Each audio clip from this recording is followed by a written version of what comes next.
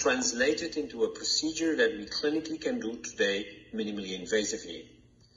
Tracheal occlusion is achieved by the insertion of a balloon into the trachea, a procedure that can be done under local anesthesia for the mother with fetal sedation, pain relief, and immobilization, and as a procedure quite quick when the fetus is in a good position. The balloon is inserted at around 26 to 28 weeks, at least historically, and is reversed at 34 weeks. The balloon is taken out to promote lung maturation.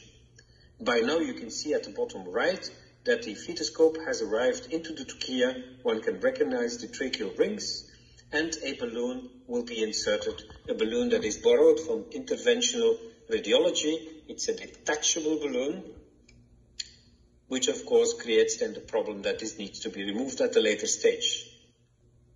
There is no outgoing catheter because the fetus could theoretically pull out the balloon.